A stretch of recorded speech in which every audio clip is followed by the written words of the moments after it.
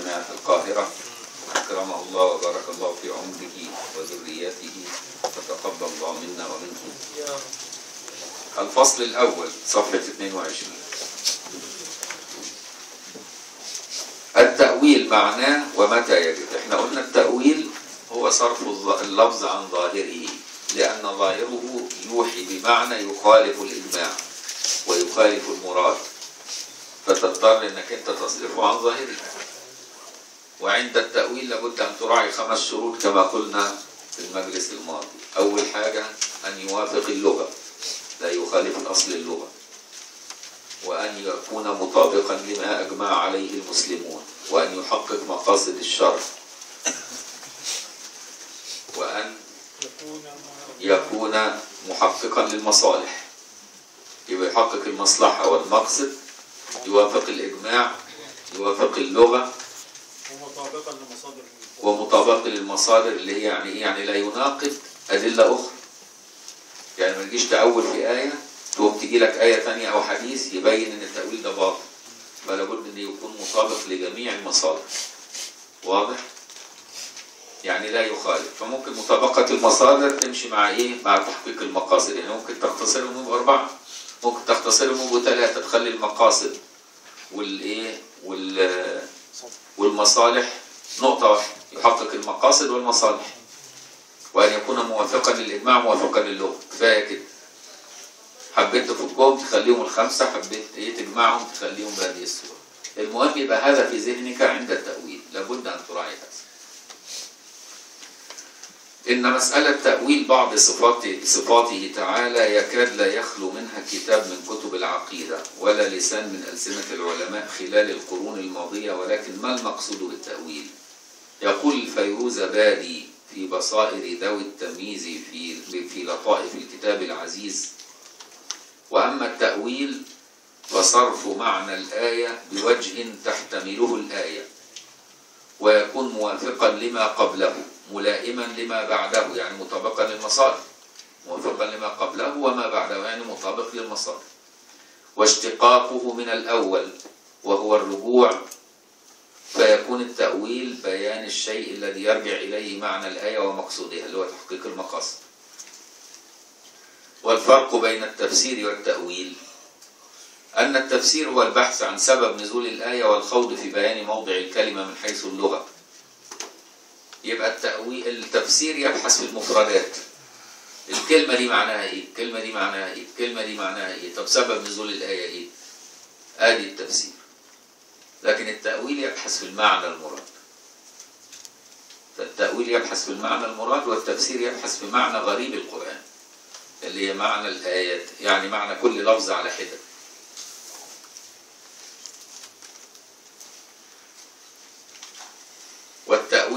التفحص عن أسرار الآيات والكلمات وتعيين أحد الاحتمالات احتمالات الآية وهذا إنما يكون في الآيات المحتملة لوجوه مختلفة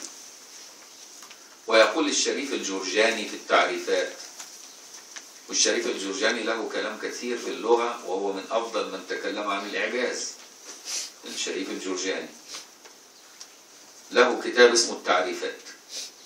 يقول التأويل في الأصل الترجيع وفي الشرع صرف اللفظ عن معناه الظاهر إلى معنى يحتمله إذا كان المحتمل الذي يراه موافقا بالكتاب والسنة مثل قوله تعالى يخرج الحي من الميت إن أراد به إخراج الطير من البيضة كان تفسيرا وإن أراد إخراج المؤمن من الكافر أو العالم من الجاهل كان تأويلا واضح؟ هذا هو التأويل الذي نعنيه وهو استخدام إحدى القواعد التي ذكرها البلاغيون في مبحث الحقيقة والمجاز في فهم النص وما يؤول إليه المعنى وكلمة التأويل أعم من المجاز لأنه قد يكون بالكناية والكناية مش من المجاز مش كده برضو كاتب عشان كده كاتب لك في الهامش أن التأويل أوسع من المجاز يعني المجاز جزء من التأويل يعني الذهاب إلى المجاز دي إحدى آلات التأويل إحدى آلات وسائل التأويل وليست هي كل وسائل التأويل واضح؟ ولا يعني ذلك أننا سنقوم بتأويل كل نص وارد بل إنما يستخدم عند الضرورة يبقى لا تصرف اللفظ عن ظاهره إلا عند الضرورة التي تقتضي أنك لو حملته على ظاهره يخالف ما جاء في الشرع يبقى في الحالة دي أنت وصلت لضرورة أن تزيل التناقض أو الذي يخالف ما عليه الإجماع في الفهم الصحيح أو ما عليه علماء اللغة فما يجيش الباطنية مثلا يقولوا كل نار هي معاوية وكل جنة في القرآن هي علي مفيش علاقة بين الجنة وعلي ولا النار ومعاوية لكن عند أهل البواطن الباطنية عندهم كده تمسك القرآن كله حط فوق النار معاوية وفوق الجنة يبقى علي وامشي اقرا القرآن على هذا طبعا هذا الأسلوب لا يوافق عليه الإجماع ولا اللغة لأن لا علاقة أصلا بين النار ومعاوية بخصوصه ولا بين الجنة وسيدنا علي بخصوص ذاته وبالتالي هذا التأويل يرفضه أهل السنة ويسموه هذا الكلام باطني المرفوض لكن لابد أن يكون التأويل يراعي اللغة ويكون يرتكب عند الضرورة يعني إيه عند الضرورة يعني لو حملنا اللفظ على ظاهره انبنى عليه مخالفة لما عليه الإجماع يعني لما نقول مثلا يد الله فوق أيديهم لو حملنا اليد على معنى الجارحة وربك بيقول ليس كمثله شيء لأن ظاهر اليد هي الجارحة يؤدي إلى مناقضة آية ليس كمثله شيء هو السميع البصير فلا بد ان انا اصرفه عن ظاهره حتى لا يناقض ايه اخرى فهم اقول ان اليد مصروفه عن ظاهرها بالاجماع ثم السلف يقول هي صرفت عن ظاهرها ونفوض معناها إلى الله دول المفوضة والخلف يقول اليد قد تكون بمعنى القدرة بمعنى العطاء بمعنى الإحاطة لها معاني كثيرة يبقى الخلف يؤول بعد صرف النص عن ظاهره والسلف يفوض بعد صرف النص عن ظاهره برضه يعني لابد الأول إن الإجماع إن النص غير مراد الظاهر ليه؟ لأن اليد جرح والله منزه عن الجوارح لأن الجوارح صفة الأجسام والجسم مكون من أبعاد ويفتقر إلى أبعاده ويفتقر لحيز والله غني مستغني لا يفتقر لحيز ولا يفتقر لأبعاد ولا وليس بجسم كل هذه الأشياء تجعلك تصرف هذا اللفظ عن ظاهره في الحال طب طب أحدد له معنى السلف الصالح قال لك لا مش هنحدد له معنى هنفهمها إجمالا كده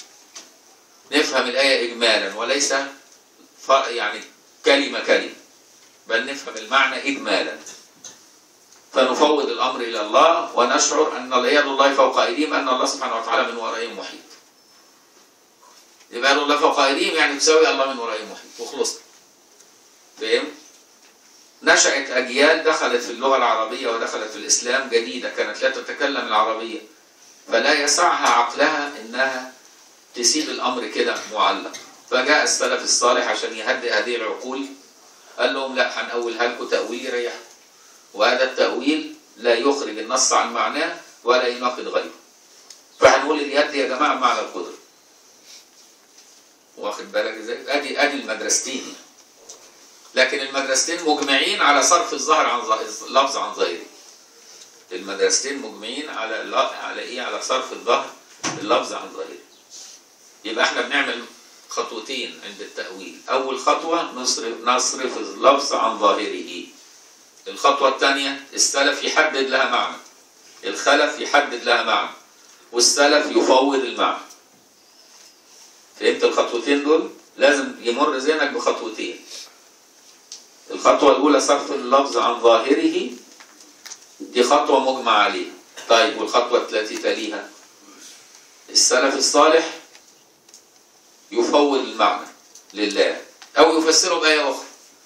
زي ما قلت لك تقول له يد الله فوق أيديهم يعني إيه تروح تسأل سيدنا عمر مثلا يد الله فوق أيديهم يعني إيه يا سيدنا عمر يقول لك يعني الله من وراء المحيط يعني الله على كل شيء قدير يعني الله قاهر فوق عباده يعني يجيب لك يجيب لك الآية يفسرها بآية ثانية بجملة ثانية تروح لأبو الحسن الأشعري تغيرت الأجيال تغيرت الفهوم نشأت أجيال ما تعرفش العربية فاضطر يقول لهم لا تعالى يد هنا تستعمل بمعنى الجارحة وده مصروف يقينا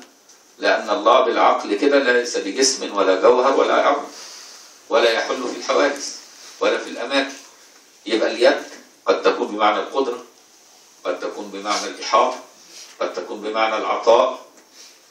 فهمت بقى إزاي؟ آدي المدرستين نشأوا بالطريقة دي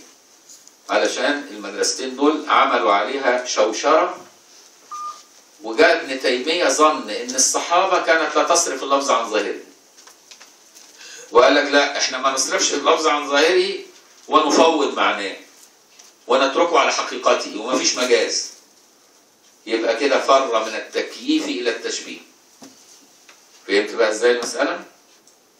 شبهه بالحوادث لما نخلي اليد زي ما هي على حقيقتها كده ده مذهب ابن تيمية والسلف والسلفية المعاصرين والوهابية قال لك لا احنا مش هنصرف اللفظ عن ظاهره احنا هناخد لفظ كده طب ليه ما تصرفوش عن ظاهره عشان ما فيش مجاز احنا مش معترفين ان في مجاز كويس طيب ما انت لما هتصرفه على ظاهره هتوحي ويلزم من كلامك الجسمي قال لك لا الله ليس بالجسم طب امال اليد يقول له يد ليست كايدينا يثبت له الجارحه وينفي الكيفيه يبقى شبه ولم يكيف والمجسمه كيفوا وشبهوا يعني هم نص مجسمين تشخيصهم بالظبط مش مجسمه صرف ولا هم منزهه صرف بل هم وقفوا في النص على السلم زي لغه المصريين زي اللي راسه على السلم لا وصلوا لدول ولا وصلوا لدول يبقوا جهله عايشين في اوضه ضلمه فهمت بقى ليه لانك لهم قالوا تجسيم صرف زي المجسمه ولا هم نفوا ظاهر اللفظ فاثبتوا حقيقه اللفظ التي تدل على الجريح نفوا فقط الكيفيه واثبتوا التشبيه واثبتوا ايه التشبيه فهمت بقى الفرق بين المجسمه والوهابيه التيميه وبين اهل السنه هو ده الفرق المجسمه اثبتوا التكييف والتشبيه وأهل السنة نفوا التشبيه والتكييف والوهابية وقفوا في النص نفوا التكييف وأثبتوا التشبيه فهمت الحتة دي؟ والله لو لفيت الدنيا مش هتعرف حد يوصلها لك بهذا الوضوح بهذا الوضوح أتحدى لأن أنا أصل حضرت المشايخ كتير ما حدش قالها لي بهذا الوضوح هم يلفوا حوالين المعنى لكن أنا بقولها لك بحاجة لأن إحنا دكاترة نحب نشخص الاطباء كده يحبوا يشخصوا ايه النقطه المرض جه فين عشان يخش يعالجه بالذات الجراحين لازم يعرف موضع المرض عشان يخش يشيله ما ينفعش افتح العيان كله كده واشق واقعد ادور جوه بقى لازم ابقى محدد الموضع اللي هشتغل فيه فاهم فاحنا بنحدد الموضع بالظبط النقطه اللي دخلت في ذهن التيميه والوهابيه وعملت لهم الخلل اللي خلتهم يخرجوا عن اهل السنه والجماعه هذا الموضع الخلل اللي طرأ في ذهنهم في طريقة تفكيرهم أولا نفوا المجاز فقالوا ما نصرفش اللفظ عن ظاهره فإن بنى على هذا الكلام ردوا عليهم قالوا لهم بس أنتوا لو ما نفتوش عن ظاهره ينبني يعني عليه التجسيم قالوا لهم لا نحن لا نجسم لا نكيف لكن نثبت اللفظ له يد خلاص يد اليد دي معناها الظاهر الجريح يقول لك اه له يد ولكن ليست كأيدينا فنفى الكيفية وأثبت التشبيه فهمت بقى إزاي؟ المجسمة لا قالوا له يد وأصابع وكل حاجة وجسم وقاعد كده على العرش وفي السماء فوق كده والعرش كمان بيزيق وهو قاعد عليه شوف قد ايه الى هذه البجاحه يعني فالمجسمه عندهم بجاحه لا نهايه لها والوهابيه عندهم بجاحه يعني ايه مستترة شوية بحيث ايه قد تلتبس على العوام قد تلتبس على العوام فيظن ان هم قريبين لاهل السنة وده بسبب انتشار مذهبهم ان التبست على العوام يقول لك لا احنا لا نكيف سبحانه ليس بجسم نعوذ بالله طب وبعدين يقول لك لا ده هو ليه ايد لكن ايه ليست كايدين ايد بالمعنى الحقيقي يقول لك اه بالمعنى الحقيقي طب وازاي يعني ليها صوابع وانامل وضوافر وكده يعني ولا تبقى ايه يعني يقول لك لا لا بلا كيف يد بلا كيف فنسبوا الى الله كل نقص وتمحكوا بالبلكفه فهمت ازاي يعني بلا كيف لو يد بلا كيف لو عين بلا كيف لو مش عارف لجر بلا كيف لو ساق بلا كيف وهكذا يقول لك بلا كيف بلا كيف يعني يثبت الجهل وينفي الجهل يبقى تنتهي في الآخر المحصلة زيرو وهو الجهل فهمت ازاي؟ فدي المشكلة بتاعتهم ان هم في الآخر يبقوا ايه؟ حكمهم جهل حمير وده كان وصف السيد عبد الله السيد محمد الحافظ التجاني عليه لم سألناه ايه حكمهم؟ قال حمير لأن الحمار رمز البلادة وعدم الفهم وهو ده الحمار كده ربنا جابه في القرآن رمز للبلادة وعدم الفهم عشان كده النبي حتى في السنة يقول إيه من رفع رأسه قبل الإمام يوشك أن يمسخ وجهه إلى حمار لأن أنت هترفع رأسك قبل الإمام إزاي إذا كنت أنت مستعجل على إيه إذا كنت أنت مش هتسلم إلا لما يسلم هو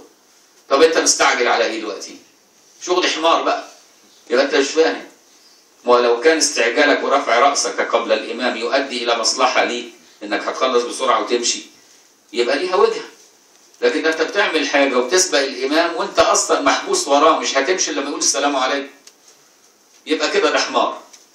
فالنبي سماه إيه حمار قال لي إيه من رفع رأسه قبل الإمام يوشك أن يمسخ وجهه أو رأسه إلى حمار فالحمار رمز البلادة وعدم الفهم فهمتوا بقى المسألة؟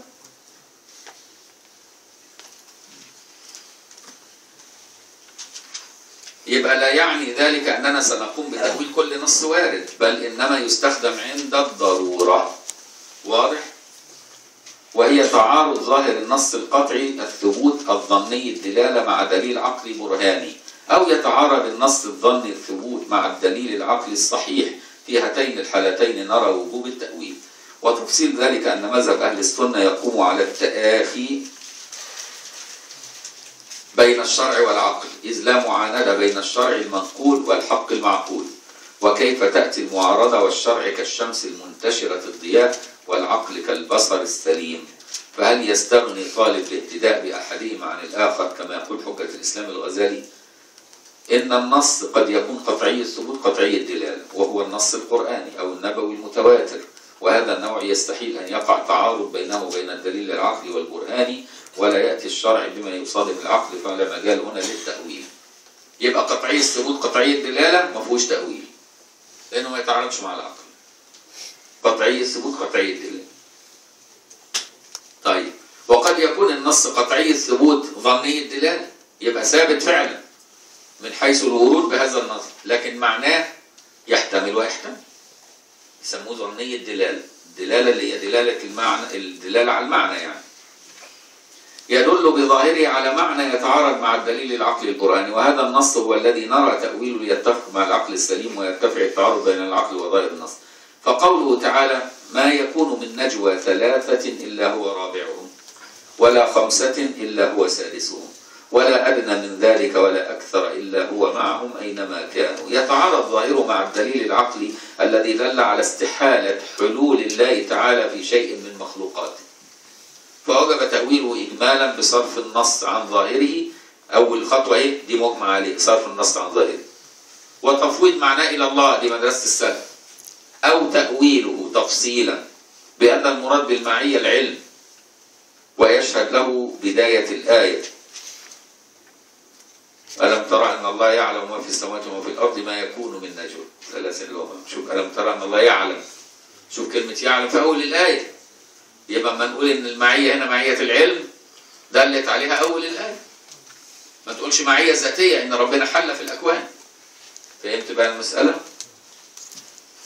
والتأويل الإجمالي متفق عليه متفق عليه بين سلف الأمة وخلفها وهو صرف الموهم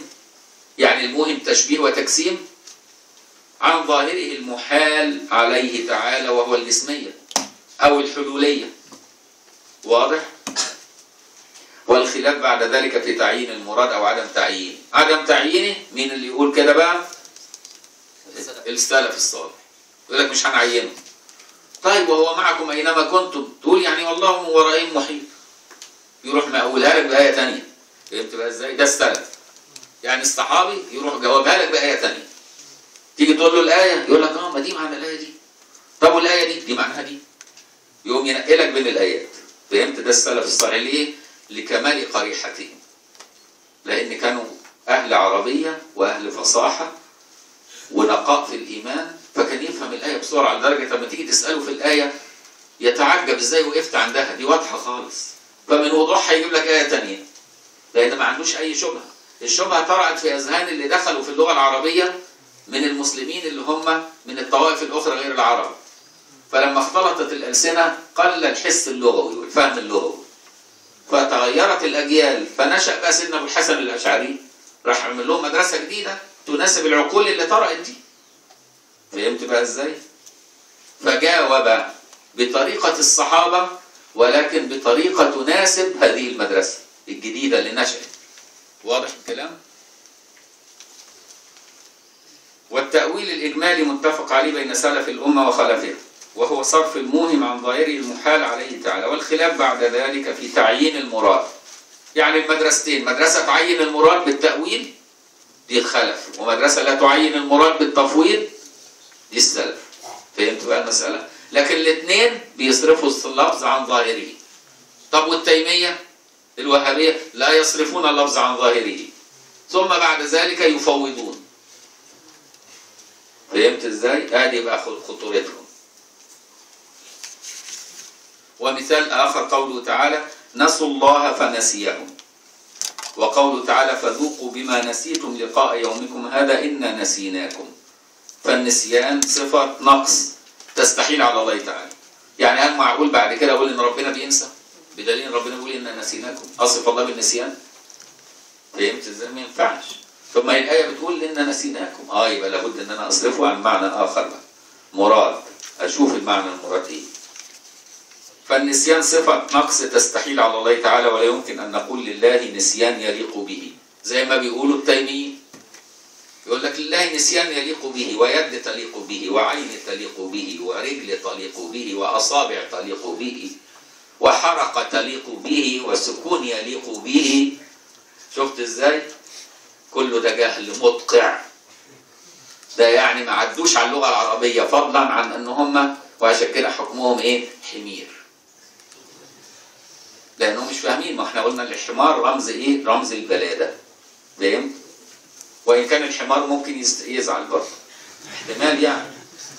لدرجه ان الحمار الحكيم توما كان في واحد اسمه حكيم اسمه توما كده وكان هو جاهل قوي فاهم نفسه حكيم في البلد بقى ماشي كده لابس علمه وكل ما الناس تساله يساله اسئله يجاوب اسئله غلط خالص وهو بقى عامل نفسه حكيم فركب الحمار رايح مشوار قام الحمار نطق من جهله الحمار بتاعه نطق من جهل قال ايه لو انصفوا لركبته جهله جهلي جهل بسيط وجهله جهل مركب يعني انا حمار واعرف انه حمار انما هو حمار ومش عارف انه حمار يبقى مين فهي دي المشكله بقى ان هم ماشيين في الضلال ويقول لك احنا اهل الحق هم ماشيين في الضلال ويقول لك لا ده احنا اهل الحق احنا اهل السنه والجماعه دي المصيبه اللي فيهم فهمت بقى المصيبه اللي فيهم فالنسيان صفة نقص تستحيل على الله تعالى ولا يمكن أن نقول لله نسيان يليق به فوجب تأويل النص إجمالا إجمالا دي طريقة مين؟ السلف الصالح ياخد الجملة اكسبريشن على بعضه كده ما يقفش عند كل كلمة الرحمن على العرش استوى الناس اللي في قلبهم مرض يعمل ايه؟ يمسك العرش لوحده يفهمه ويمسك استوى لوحده يفهمه وعلى لوحدها يفهمه ويروح مركب منها ان ربنا قاعد على العرش فهمتني بقى ازاي؟ ده اللي في قلوبهم زيغ انما اللي في قلوبهم ايه؟ ايمان وفاهمين ياخد الكلمه على الجمله على بعضها الرحمن على العرش استوى سبحانه وتعالى يقوم على طول يقول بعدها ايه سبحانه وتعالى فياخدها إجمالا ما ياخدهاش تفصيلا لما نشأ بقى المخ التفصيلي ده جالهم مين دواهم سيدنا أبو الحسن الأشعري قال لهم تعالوا انت اللي انتوا انتوا قاعدين تفصلوا بقى طب انا افهمكم بالتفصيل بقى فهمت يقول لهم استوى قد تكون بمعنى استولى بمعنى قهر فهمت ازاي ليها معاني كتير ايه المشكله يعني فهمت يبقى سيدنا ابو الحسن الاشعري نشأ يداوي امراض نشأت فهمت ازاي؟ مش بيألف مذهب جديد ده بيعالج أمراض نشأت لم تكن موجودة في الجيل السابق الجيل السابق ياخد المعنى إجمالي وجا الجيل بتاع سيدنا أبو الحسن الأشعري عايز ياخد المعنى تفصيلي كلمة كلمة فاهم؟ فوجب تأويل النص إجمالا أو تفصيلا لأنه معارض للعقل كما أنه يعارض الشرع يعارض العقل ليه؟ لأن ربنا ما ينساش جل سبحانه وتعالى لا ينسى أي كده في الآيات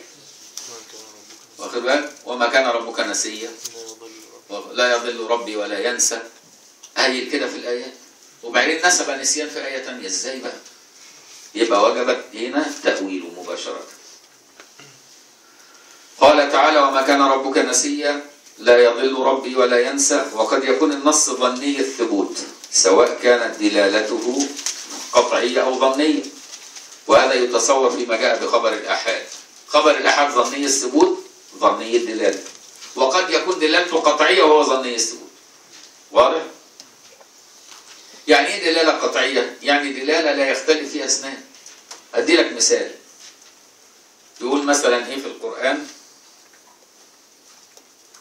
فمن تمتع بالعمرة إلى الحج فما استيسر من الهدي فمن لم يجد فصيام ثلاثة أيام شوف ثلاثة أيام دي دلالة القطعية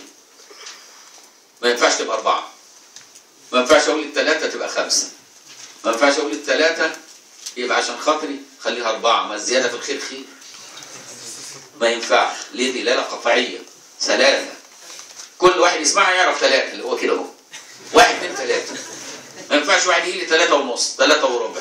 ثلاثة إلا ربع ما ينفعش يبقى دي اسمها دلالة قطعية يعني لا يختلف فيها أي عاقل واخد بالك إزاي؟ ثلاثة أيام في الحج وسبعة إذا رجعتم تلك عشرة كاملة يبقى خلاص دي دي حاجات دلالة قطعية فهمت بقى قطعية الدلالة اللي هو ما يحتملش أي تأويل آخر هي كده واضح؟ لكن الدلالة الظنية تحتمل بقى حاجات كتير واضح؟ وهذا النوع إذا عارضه دليل عقلي صحيح فلا بد من تأويل ما ثبت بخبر الآحاد أو بفحص السند فحصا جيدا لأنه قد يكون ضعيف فلو ثبت صحته يبقى ابتدي بقى أفهم النص إزاي فهمت؟ حديث صحيح ورد عن النبي صلى الله عليه وسلم مثلا إن الله خلق آدم على صورته حديث صحيح إن الله خلق آدم على صورته الضمير ده يعود على مين؟ سيدنا آدم يعود على الله يعني الله صورته صورة آدم لا صورة الله استنى بس ما أنا بقول لك أهو ما أنا بجيب لك نص صحيح أحاد ظنية الدلال مش قطعية الدلال فاهم؟ ليه ظنية الدلال عشان كل واحد هيختلف في عودة الضمير واحد يقول لك إن الله خلق آدم على صورته يعني صورة آدم المعلوم الضمير هنا يعود على آدم وخلاص بحل الإشكال فهمت ازاي واحد تاني قال لك لا صورتي هنا بمعنى صفته وليس بمعنى صورته المحاطة يعني التجسيمية ولكن على صفته يعني الله حي خلق آدم حيا الله له إرادة خلق آدم له إرادة فهمت الله متكلم خلق آدم يتكلم الله سميع وبصير خلق آدم يسمع ويبصر فهمتني بقى ازاي الله له ملك يملك خلق آدم وملكه وصار له حيازة يبقى ممكن افهمها بهذه الطريقه وافهمها بهذه الطريقه يبقى ده اسمه ظنيه دلاله يبقى النص ده وفي بعض العلماء قالوا صورته هنا الضمير يعود على النبي سيدنا محمد واخد بالك زي سيدنا محمد عبد الكبير الكتان حملها في الصلاه بتاعته واخد بالك صلاه القاسم على ان او النموذجيه والقاسم الاثنين بينها انه صورته هنا تعود على النبي لان هو ضمير الاكوان ادم هو الكون من الاكوان والضمير الأكوان مين هو النبي هوية الأكوان يبقى على صورته على صورة ضمير الأكوان اللي هو النبي فهمتني بقى ازاي يبقى اه شوف كم تأويل كم تأويل وحديث واحد حديث صحيح لكن ظنية دلالة ده يأوله بطريقة وده يأوله بطريقة وده يأوله والصحابة سمعوه سكتوا ما هو واضح اهو ما حسوش بمشكلة فهمت ازاي ولا حتى سألوا النبي يعني ايه الضمير يعود على مين يا رسول الله ما حدش سأل دليل ان لم تطرح على قلوبهم اي شبهه واضح الكلام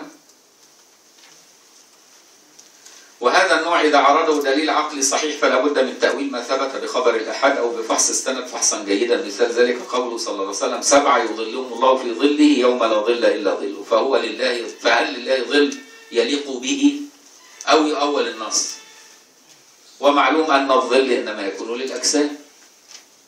وكذلك قول صلى الله عليه وسلم عليكم بما تطيقون فوالله لا يمل الله حتى تملوا والملل من صفات النقص فأن نثبت لله مللا يليق به أو يؤول النص كل دي بيحرجهم كل دي أسئلة قاعد يحرجهم فهمتني ازاي؟ كل دي أسئلة قاعد يقرصهم يمكن يفوقوا عارف انت لما دكتور التخدير والعيان بيفوق كده يقوم يضربه على خده يمكن ينطق بس عشان يعرف انه نفسه ماشي فهو بالظبط العالم دي في غيبوبة الجهل وهو قاعد بقى ايه يفوقه بيديله سؤال يفوقه يفوقه لحد إيه؟ يعطس يقول ارحمكم الله فوقت الحمد لله مبروك خفيت هذه الحكايه فهو دي كل دي الاسئله بهذا المعنى وكذلك قوله صلى الله عليه وسلم عليكم بما تطيقون فوالله لا يمل الله حتى تملوا والملل من صفات النقص فهل نثبت لله مللا يليق به أو يؤول النص وكذلك الحديث القدسي يا ابن آدم مرضت ولم تعدني والمرض نقص لا يليق بالله تعالى فهل نثبت لله مرضا يليق به أو يجب تأويل النص وإن قالوا إن تأويل النصوص ظني ولا يؤخذ بالظن في الاعتقاد قلنا وأنتم تأخذون بخبر الأحاد وهو لا يفيد إلا الظن خلصين فهمت؟ ومثال ما يجب فحص سنده فحصا جيدا حديث الأوعال وحديث رأيت ربي جعدا أمرد عليه حلة خضراء وقد أثبتت دليل العقل استحالة الجسمية وتوابعها على الله تعالى هكذا يتحدد ما يدخله التأويل وما لا يدخله وظل هذا الموضوع التأويل وقبوله أو رفضه خلال القرون الماضية وقفا على علماء المتخصصين في الدراسات الإسلامية والعربية لا يبرح قاعات البحث والدراسة لكن المشكلة بقى في الوهابية خلوه على المنابر وهم يكلموا الناس عليه في المنابر والموضوع ده كان موضوع بيبحثوا علماء العلماء الدراسة لأنهم تعلموا اللغة وتعلموا الشعر وتعلموا البيان وتعلموا البديع وتعلموا الإعراب وتعلموا المنطق وتعلموا النحو وتعلموا وتعلموا وتعلموا وبعدين دخلوا بالأدوات دي كلها ابتدوا يتناقشوا فكانوا بيتناقشوا في مواضع الدرس جم بقى الجماعة الوهابية عملوا إيه؟ وقفوا على المنابر يكلموا العوام بهذه القضايا والعوام ما عندهمش هذا التأهيل اللي هو يخليهم يفهموا هذا الكلام